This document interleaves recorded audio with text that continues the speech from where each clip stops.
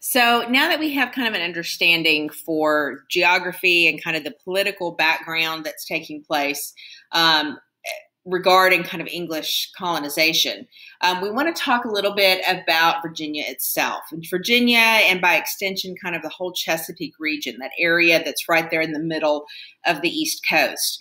Um, tobacco, of course, is the first, the, the primary, the, the big crop. Um, but over time, especially as we move from the 1600s into the 1700s, um, you start to have other crops developing too.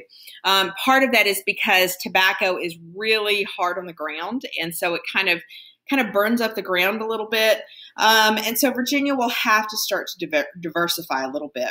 Um, and as they do that, as they kind of balance out their agricultural system, what happens is that conditions get better, right? Um, people are surviving more. Um, and again, like I said about women, you know, they become very powerful in this period, um, but you still have a pretty significant death rate. Um, but all of this means that by that by 1650, 1660, um, you're starting to have more people coming in. Um, and so part of what we what we understand is that you have this frontier pressure, right? As more people come in, as you have more indentured contracts, and so people gain access to more land, the frontier of Virginia keeps expanding. And that puts them in conflict with Native Americans, right? The Powhatan, who initially allowed the English to come uh, and settle because they wanted to leverage uh, for their own political purposes with their own kind of indigenous people. Um, and that is going to start to become a bigger problem right? So you have you have tensions uh, there. You you know the powhatans keep trying to slow things down but that doesn't work. Um, and you also have um, you know really people you know you have these villages you have jamestown which is which is kind of the center of government and, society but people live on these plantations farther out right? Um, so there's a great deal of isolation happening. Um, and it's also important to recognize that that religion is not playing a major role in the settlement of Virginia. Um, that doesn't mean that they're not religious. I mean, yeah, these are people where Judeo Christian values were kind of the norm. But at the same time, you know, it's not like they're being driven by religious purposes, right? Um, so if you kind of look at that, that kind of helps you understand um, a little bit about the nature of Virginia. Again, it's tied to wealth, to farming, to agriculture. Um, you have this democratic system of government. Um, you have a social structure that is tied a lot to kind of that indentured servant. So you have an elite group that tend to be in government, that tend to be close to the coastline, that tend to have wealth and have slaves and all that kind of stuff. And then you've got, as you move farther to the frontier, you've got more ordinary people, um, people that maybe own land or have a farm, but they struggle right? I mean, it's taking everything they have to try to make that, and they're hacking this out of the wilderness and, you know, all that kind of stuff. So you need to understand there's some social differences, there's class differences. Um, you want to understand that women, because they are able to get married, um, because of the death rate, um, that you have some empowerment for women. So when we talk about New England, you'll see some differences there. Um, and this is a, a, copy of an indentured servant contract, just to kind of give you an idea. Um, again, House of Burgesses, you want to remember that's the first representative government, um, and really begins to set the standard that the colonies are going to run primarily on their own, right? I mentioned before this notion of benign neglect. Um, House of Burgesses is created in 1619 as a product of them being a joint stock company. Um, when King James comes in and kind of makes it a royal colony in 1624, what's going to happen is that he allows the House of Burgesses to keep governing. Um, why not, right? I mean, at this point, there's a whole Atlantic Ocean. It takes weeks and weeks to go from one place to the other you know, if the House of Burgesses is running things, then let them keep running things, right? And so the big difference is that the king will appoint a governor that kind of works with the House of Burgesses, um, but otherwise it's largely going to be run by them. Um, and this particular seal, I always put this on there because to me, it's kind of shows you like just the simple kind of English superiority uh, kind of complex that comes with Virginia. So you definitely have that sense of kind of entitlement to the land and that sort of thing. Now, in the Chesapeake area, it is not just Virginia, right? So if you think in terms of, you know, you've got Virginia, well, right up right up from that is going to be Maryland. And this is a direct result, the creation of Maryland is a direct result of the religious conflict and the Stuarts, right? So George Cal- Calvert is a Catholic. He's friendly with King James. Uh, and basically, Calvert would like to create a haven for Catholics that feel like they're not welcome in England. And so essentially, King James gives him permission to create Maryland. Uh, he calls it Maryland for the Virgin Mary. Um, and so that he passes a Toleration Act. The Toleration Act is meant to guarantee religious freedom, so it's meant to prevent uh, Puritans or Anglicans from coming in and setting up their own system uh, that makes it hard for Catholics to, to worship the way they want to. So your first religious freedom actually comes because of Catholicism, right? Comes because they're trying to protect Catholic beliefs, um, especially because by the time you get to 1650, when you're talking about, you know, the, the, the parliamentarians, the Puritans that are starting to gain some power, there's concern about what might happen with Catholics. So Maryland get, has a lot of farms, a lot of manors. Um, it's run primarily as a kind of a personal, um, you know, fiefdom, I guess you could say. Um, but he does appoint uh, uh, governors and overseers, um, and so you have kind of you, you have a system of government that ultimately is held to account by by Lord Calvert, right? Um, I'm sorry, Lord Baltimore, um, and so that's what you see kind of happening. you know, Virginia and Maryland. There's lots of competition between colonies. Colonies typically didn't like each other. Um, and we see that today. I mean, the states act the same way, you know, Texas versus Oklahoma, that kind of thing. Well, it's the same kind of concept, right? Virginia thought they were special because they were the first, and Maryland thought they were better and um, because they had religious freedom. And so you just kind of have that background, right? Um, Meanwhile, happening at the same time that Virginia and Maryland are kind of developing, um, you start to have you know the the impact of the French and their trading uh, for furs. This is going to trigger what is called the Beaver Wars with the Iroquois, um, and they, or not with the Iroquois, between the Iroquois and other tribes, right? So the tribes are basically tearing each other apart over controlling the beaver trade because they want to trade with France. Um, and so this is kind of what you see happening. And so the Iroquois will end up on top. It'll be these beaver wars that kind of make the Iroquois the de facto indigenous group that the Europeans deal with. Now, unfortunately, this kills more indigenous people, right? More Iroquois, more Huron are killed because of it. Um, and ultimately, the the Iroquois will decide that it wasn't worth all that all that participation with trade, right?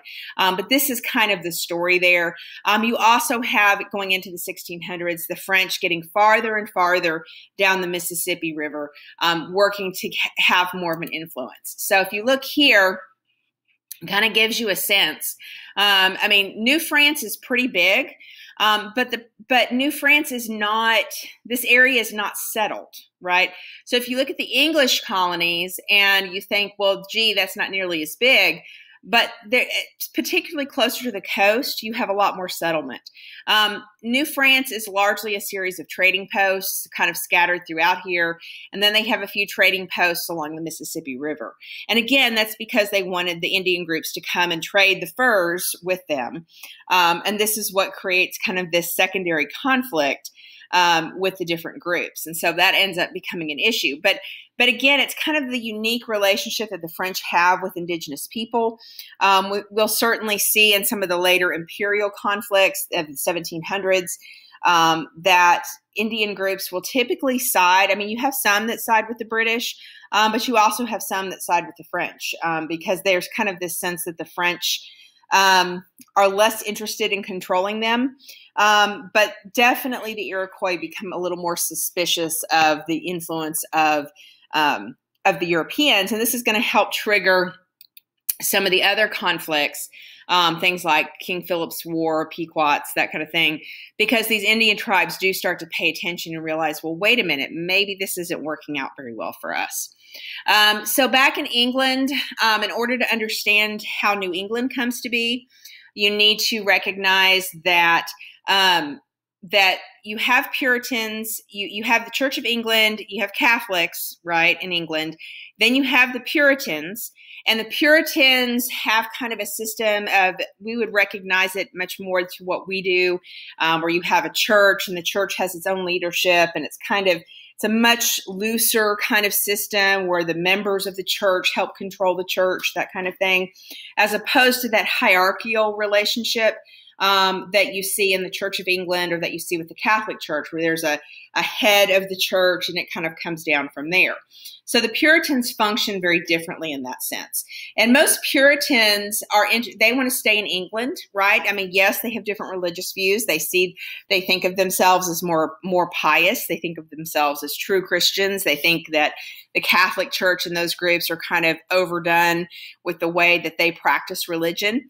Um, and but they feel like they can change it from the inside okay? So this is where you have those parliamentarians that are involved with cromwell and that kind of thing. They're trying to change england from inside. But then you have another group. You have a group called the separatists. They're sometimes called brownists. They're sometimes called pilgrims. And these are the ones that essentially say you know hey we are um, you know we don't we don't want to participate at all right with england. Like we think england's beyond saving. It's corrupt. You know the king is corrupt. You know there's too much influence of catholicism. We're just done with this right? We want to we want to remove ourselves from this corrupt environment. And so they actually initially go to holland right to escape england uh, except then their kids start to behave like they're from holland and like they're dutch and they and that upsets the separatists. And so they they pool their resources together um, and get on a ship to come to north america. So they're supposed to come to virginia essentially right? And so that's kind of where the separatists come from. Um, now these groups the separatists and the puritans they're calvinists so they have that sense of, you know, preordination that God has decided already who's saved and who's not. Um, and, you know, they believe in the part of why they're called Puritans is because they believe in purification, purification of yourself, purification of the government. Um, and so they are highly critical of the English throne. Um, and so this this is part of the frustration that Stu- the Stuarts have with the Parliament because you have these Puritans there, and they're constantly criticizing the King. Um, and you know they also complain a lot because the Church of England is the official church of England uh, and, and the United Kingdom, or at least it was until modern period.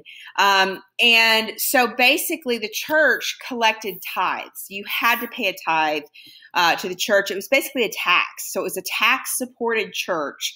Um, this is what, you know, our founding fathers, when they think about church and state, that's what they're talking about. That the government collects money to help pay for a particular church, and the church is then kind of the servant of the government and that kind of thing. Um, and so, you know, they're very critical of that because they're having to pay to support the Church of England, even though they don't agree with or believe in the things that the Church of England is teaching. So if you're a Puritan, you're paying your tax to the Church of England, you're paying your taxes to the government, and then you're paying a tithe to your own church, right? So it's just extra taxation, right? Um, but too often we phrase kind of this idea as that somehow these these Puritans and the, the separatists that they were being burned at the stake and all this kind of stuff. That's confusing some periods. That's confusing uh, Queen Mary, who was queen just before Bloody Mary, that was queen before Queen Elizabeth. She burned Protestants at the stake, so she did those things. But that's not what's happening here in the 1600s. That's not happening with the Stuart monarchy. They're they really are not persecuting you know, people, you know, they're not persecuting the Puritans, except in that you have some extra taxation, and, and you can make an argument that that was unfair. Um, and socially speaking, there could be some discrimination. Um, you know, sometimes if you were a really hardcore Puritan, you might face you know there's going to be some social cultural capital issues with that um, because being noble being part of the church of england was actually how you kind of moved up in the world. Um, so there was some resentment that there might be some discrimination. Um, so just kind of keep in mind that that when we talk about the the Puritans coming to North America, it, it's not being driven by the kind of persecution that we would imagine, right? Like I said, people being you know burned at the stake or being hung or tortured or anything like that. It, that's not happening. This this is much more about money right? And I don't want to pay an extra tax, and I want to have all the opportunity that I want. Um, now, Puritans tend to be very focused on the family, very focused on literacy. So, one of the characteristics um, of settlement in New England is a focus on family and literacy. Um, so the separatists, um, again, these middle class craftspeople kind of pool their resources. They get on a boat with some other people. So it's not all all pilgrims, right? There's a whole bunch of different people on there, um, and they come. They're supposed to be coming to Virginia, but they get off course and they end up in New England. Um, and so they create the Mayflower Compact in part because the, this boat that's on the Mayflower, or this boat, the Mayflower, has so many diverse people in it that they have to come up with a system of government that represents the interests of everybody. So whether it's, you know, you know pilgrims or whether it's somebody who has nothing to do with religion um, so it's interesting to note that plymouth rock is is founded plymouth is founded by people of diverse religious beliefs right um, so you really kind of almost have a type of religious freedom in plymouth um, driven by by necessity because the the pilgrims are not the only religious group there um, they were too sick to travel, so they stayed where they were. Um, and so they set up the first winter, of course, is pretty rough. Um, because they don't have enough food, and um, they the supply ship is slow in coming. Um, and so by the time you get to 1621, a lot of these immigrants have died. Um, but the Wampanoag Indians help them. Uh, Tisquantum helps them. To, you know, Tisquantum, of course, was a uh, Pequot not Pequot, whatever, Patuxet. Um, so he was a different tribe, and I told you that you know his group had kind of disappeared. So he's kind of hanging out with the Wampanoags, but he doesn't quite fit in, and so he kind of is able to kind of bridge a connection between the Pilgrims and the Wampanoags, and this will kind of help them survive. Um, and so, really, the first harvest they do have a celebration. Um, but the harvest is nothing like what we imagine it to be, right? Because um, it's really the the Wampanoag Indians that are being generous, that are showing them how to farm that area, that are showing them how to be successful. Um, so, you know, you have the compact, all that kind of stuff. They do manage to prosper within a couple of years. So, over time, um, this idea about, um, you know, about religious freedom, this idea about farming, like they overcome those things and, and end up becoming fairly successful. Um, but I like to show this particular painting um, because this painting was done in 1934, I think it is. I'd have to I'd have to Google it to remember the guy's name. Um, so he's depicting Thanksgiving. And there's so much wrong with this picture, right? When you know the story that it's Tisquantum that helps them plant, that it's the Wampanoags that help them keep going, that, you know, half of them have died. Like this is not, you know, they're, they're not going to have these big kind of cottage looking houses, right? This is a rough environment. And the idea that the Native Americans are kind of these passive participants that's not what's going to happen, right? Um, this depiction that the gen- generosity is on the part of, of the English pilgrims, that's not what's happening, right? So it's just kind of interesting uh, to keep in mind that the story for Thanksgiving is not at all what we want to think it is. It's actually quite different. Um, so then when the pilgrims are being successful um, this attracts other puritans. These are puritans who are starting to get kind of fed up with charles i um, and so they decide that they're going to create the massachusetts bay company. Um, they manage to get some merchants and lawyers and stuff and they want to kind of create this this colony over there. And and really their intent is to prove that the king of england is wrong the King of England doesn't know what he's doing, that the right way to govern the country is through these Puritan religious values, that this whole Church of England secular thing is wrong. We can't do it that way. Like we want to pack up and we want to go to the new world and we want to set up and we're going to we're going to be this, you know, literally a city on a hill. We're going to be this example for the world to see and everyone's going to realize that we were right right? That the Puritans were doing things the right way. Um, and so they do manage to get a royal charter. Um, they it's actually a little more some tricks and some bribery going on, but they do manage to get a royal charter. And Charles I, in some ways, is like, fine, good riddance. Maybe these Puritans will go away and leave me alone. Um, and of course, you know, th- then the English Civil War develops. Um, but this kind of shows you the Massachusetts Bay Colony, kind of like with Virginia, right? It's initially this huge, massive territory, right? Now, over time, it will end up being much smaller, but initially it was this big, massive territory. And so here's Plymouth, Boston, Salem, all right there along the coastline. Um, and so they're going to set up uh, Plymouth and uh, Massachusetts and they will have stockholders as well. But all of these stockholders are members of the church, right? Not the Church of England, but the Puritan Church. Um, the Congregationalist Church, I think is the official name. Um, and so they, you know, they believe so. So you have stockholders. So everyone has an equal share, and that's important because their form of government is going to have elements of democracy in it. But not total democracy because the requirement is you have to be a member of the church, right? Um, and so John Winthrop is going to be the governor. He's going to be the one in charge. Um, and again, you have to be a member of the church in order to vote. Um, and then in order to serve on the town council, you have to be a member of the church, right? So this kind of kind of creates a little different perspective, right? Because if you're thinking in terms of well, you know, the you know Massachusetts is founded for religious freedom. Well, we know first off that they weren't really being like like burned at the stake or anything. So you know we got to use the term persecution a little bit loosely. Um, certainly, there's you know you have to clarify what you mean by that type of persecution.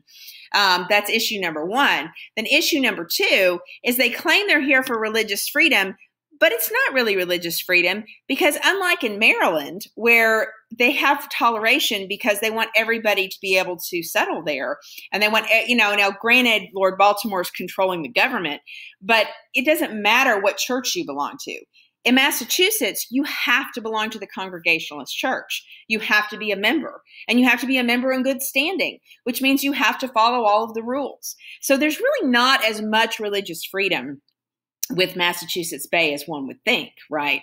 Um, and so you really have um, you really have kind of a theocratic government, a government driven by the church. Um, and you do have a bicameral legislature. Um, everything in New England is centered on the family, the town, and the church, right? They believe in a strict gender order. Um, you know, God is the Father, Jesus is the Son, um, you know, the church is the body. And just like that, you have the husband as the head of the house, followed by the, the mother, followed by the children. And there's this strict hierarchy in how everything is supposed to go. Um, they tend to, if you're a member of the church, especially early on in the 1600s, if you're a member of the church, you automatically got a plot of land right? So, you know, it wasn't about capitalism necessarily because they're not selling off the land. They're making sure members of the church have land with which to prosper. Now, what happens though is instead of having these vast plantations like you see in Virginia, particularly, but also some in Maryland, what you have are these very small family farms, right? So, so Massachusetts pretty quickly becomes these series of little small farms centered around villages. Um, and it just kind of changes the way way New England looks, right? New England just looks very different um, in many different ways, and and the temperatures are are less. You know, it's it's not swampy and hot in the summer, so there's less illness. Um, because you don't have the swampy areas they're just it's just less deadly up there um, combined with the fact that because you have lots of family support because they ship families over right beginning with the pilgrims going with the puritans they're moving entire family groups right it's not young men coming over as indentured servants working really hard and then hoping they find somebody right? Um, instead, it's these entire family groups. And, and if you think about kind of emotional health and satisfaction, that could help improve survival rates. Um, in addition, right, that just the whole focus is completely different. Instead of extracting cash crops, right, it's all about kind of family farming, family survival, and really kind of blending in. Um, now, they will have some tensions with indigenous people. Um, and there's lots of anxiety in these Puritan towns um, because they are so religiously based. There's a lot of you know kind of sense that out in the forest is is Satan and and in the towns is God, and you, there's this kind of perpetual, you know, us versus them, good versus evil concept going on. And that's going to matter because that will help shape our understanding of the Salem witchcraft trials, right? So that's you, so you definitely want to kind of know that. Um, you also, so this is kind of a picture of some Puritans. Uh, kind of give you a sense. Actually, I think these are Puritan dissenters, but um, but again, family is a big deal. This is a picture of John Winthrop. If you've ever heard the heard the phrase "beat the drum," you know, I, I, you know, you know, he's going around the school beating the drum, right? That's a reference to Puritans, um, and maybe that's a that's an idiom that nobody else but me knows. But um, but the idea is that the Puritans, when it was time for church, they would have somebody go around town beating a drum, and it would call people to church. And if you missed the beating of the drums, then you would get fined. And if you did that too many times, then you would go to the stocks, right? So church attendance was required, and you would literally go to jail for not attending church. Um, and so, just kind of some interesting little tidbits like that. Um, and again, you know, I put on here is this the American model? How democratic is this really? Um, yes, you are allowed to vote, but only if you're a member of the church. And only if you're a member of the church in good standing. So if you've been late to church too many times, you're not a member in good standing and you won't get to vote. Um, so they have lots of restrictions on that. Um, again, um, the church controls taxation um, and you know they control the, the legal system they like they control all the wheels of power right um, and you know this will end up creating some issues because as Massachusetts grows and gets bigger and bigger and bigger, and you have more people arriving that aren't members of the Puritan Church, they're going to kind of resent the fact that they can't participate in government. In addition, you know, the children of these initial settlers and their children, are going to be little a little less kind of persnickety, a little less dogmatic about their religious beliefs, and so they're going to have some frustration too. So what we'll start to see, and, and I don't dwell too much on this, but you do start to see some changes in Massachusetts government as we move into the 1700s, largely because people realize this theocratic model is not super democratic and it's not really fair to all the people um, that maybe don't think the same way as far as the Puritan Puritan denomination and that kind of thing. Um, so when you're contrasting kind of New England, Massachusetts, that kind of Puritan area with the more with the Chesapeake, you know, Virginia, Maryland area, um, you know, you have a difference in church church influence um, and the role of the church within the community. Um, you also have, you know, some differences in the way voting is carried out, right? Um, in Ch- the Chesapeake, it's very much tied to land ownership and privilege, um, whereas with with New England, it's going to be very much tied to church membership. Um, and you know, and and then you have in New England the communities are much more tight knit. You have these smaller farms centered around villages and they stay very close together. Whereas out in, in Virginia, right, you have this concept of the frontier where things keep moving farther and farther out. Um, and so that's kind of what makes it interesting. Now, pretty early, one of the problems as far as the Puritans are concerned is when you when your religious belief is centered on reading the Bible for yourself and communicating with God and and recognizing whether God, you know, approves of approves of what you're doing. And and I've mentioned this before that remember part of what the Puritans, part of what that mindset is is that if God approves of what I'm doing, then everything goes great right? And if something doesn't go well, then it's because I've not pleased God. Okay. And so something like my cow died means that I must have committed a sin. And I need to do lots of reflection. I need to read the Bible. I need to talk to God. I need to find out what that sin is and then repent of it so that no more cows die. Okay. So this translates to for the Puritans as they come into Massachusetts in the 1620s, when they see these vast areas of land that have been depopulated by disease and and and pressure from some of the earliest contact, they assume, well, God means for us to be here. This is what God wants, right? Um, but the problem with this is when you emphasize personal literacy, personal piety, and kind of this idea of self-reflection about what am i doing to please god do i know that that god approves of, of how i'm living right um, you tend to encourage people to start thinking for themselves and that's what starts to happen quite a bit. Uh, people start thinking for themselves and they start having some slightly different interpretations. So the irony here is that the Puritan faith that comes over from you know England because they feel like they're being mistreated in England, they come over, they create this really strict system all tied around their church right? But the irony is because of the nature of their religious beliefs, they end up having all these dissenters, right? All these people that don't fully buy into the Puritan way of life, okay? Um, and so part of the story of the expansion of the colonies, uh, particularly in New England, comes back to the fact that you've got these dissenters. Um, most notably, right? Um, you know, the disagreement about voting, the disagreement about how they treat uh, Native Americans, right? Remember, you've had the Pequot War in 1637. There were a lot of Puritans that, when they heard about what happened with the Pequots, that they set fire set fire to a village and then slaughtered all the people escaping, they said, "Whoa, wait a minute." That's not what we're supposed to be doing. And so you start pretty quickly having disagreements over how they how they treated Native Americans. You start having disagreements over how they're handling voting. You have disagreements over how they're handling land distribution. Um, and so all of these conflicts, right, over how the government's being handled by this Puritan church um, is going to lead to these different groups, right? Um, who tend to be highly critical of the Puritan faith and ultimately put their belief in the revelation from God as opposed to, well, the church knows best. And this is going to lead them to kind of set up their own places. So, for example, Thomas Hooker, 1634, um, wants broader church membership and more voting. Right, so he has a problem with the control of the church and and the way things are governed. Um, Connecticut will also have a little group that says, no, we don't agree with that. We want things to be stricter than that. So you have groups going both directions, right? We want things looser, we want things tighter. Um, Roger Williams is probably one of the more well known dissenters uh, in 1636 who creates Rhode Island because he, in particular, says there has to be a separation of church and state. You can't have this connection between the church and the state. It, it, hurts both of them. And he says that the way the Massachusetts Bay Company is treating the Native Americans, that that's wrong, that that's sinful. And so he disagrees with that. He says we can't keep taking their land. We need to, you know, pay them back. We need to do this, which is highly controversial um, because the Massachusetts Bay Company doesn't want to pay the Native Americans for the land.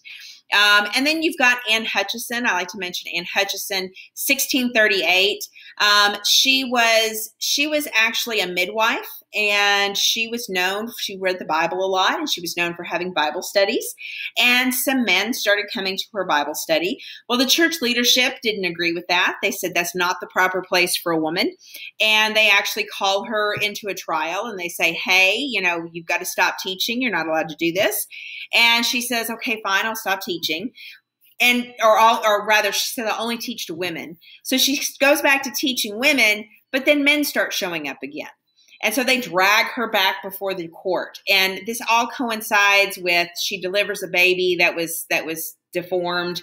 Um, and they blame they say oh well this is proof. God doesn't approve of you right? Because you you know this happened to this baby right um, and so she ends up basically getting shunned out of the community and she ends up in Long Island, um, you know, because she gets expelled, right? And this was the typical method that the Puritans in Massachusetts used when, when they couldn't get somebody to play along uh, and do what they were supposed to do. They would expel them, they would kick them out.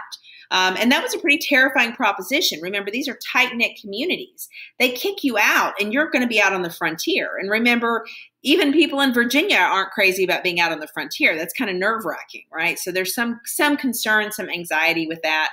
Um, and so it just kind of gives you a sense that you have, you know, Connecticut, you have Rhode Island, you have, um, you know, people being pushed out because they don't agree with religious beliefs. For example, you have the Quakers, right? And we'll talk more about the Quakers uh, in the next section when we talk about Pennsylvania. And the Quaker faith starts actually in England too. Um, but part of what happens with these with these Puritan dissenters is that Quakers kind of gain a foothold, and so then the the Puritan church is driving the Quakers out, and that becomes a whole other thing. So again, the church is putting that pressure on people um, over these various religious beliefs. And then the last thing I'll leave you with is going to be the Pequot War, which I've already kind of talked about um, this idea that they had didn't need to save the Native Americans, and that well, God must want us to have this land, or it would, there wouldn't be so much available. Uh, you know, they aren't actually using the land; they don't have it fenced off. They aren't doing, you know, they don't have cattle grazing. Like they don't know what to do with it, so it's okay for us to take it. Well, the Pequots don't agree, and so they're kind of pushing back, and so you have this conflict going on, um, and then you have basically the all the guys in Massachusetts kind of attacking, uh, you know, the, the Pequots and burning down a village and, and essentially committing an act of genocide, right? Um, and so this is going to look pretty bad. Um, and this is part of what kind of breaks down the, the control of the Puritan church in Massachusetts. Um, but also, it does really set a negative tone. So when you talk about King Philip's War that develops later in the 1600s, um, part of the context of King Philip's War is going to be the fact that you've had um, you know, you've had these, uh, you know, you've had the Pequot War, and that's created some bad feeling, right? So the King Philip's War is going to come out of this. Uh, you've got the Powhatan conflict. Part of what's happening with King Philip's War is you start to have conversations about how can these indigenous groups fight back? How can they unify? Um, so King Philip is absolutely about trying to kind of create some sense of unity to push back against the English. Um, and he struggles to do that. I mean, the the different indigenous tribes have a long history of being very competitive with each other over territory. Um, but he is one of those early voices that's like, hey, look, we got to focus on kicking these guys out. Like they, they need to not be here anymore. And so that's that's kind of what he's pushing. And so then when he gets killed, um, that really kind of solidifies that control up in the Northeast. Um, and this is a wood carving from uh, that describes kind of the Pequot War and show gives you a little bit of a sense for how violent it was. Um, so that's pretty much it for chapter two. Um, chapter three really goes into the other aspects of the early colonial settlement. So we'll talk about that a little bit more. Um, so the document activities we'll be doing kind of bridge um, a little bit between what we've talked about in chapter two.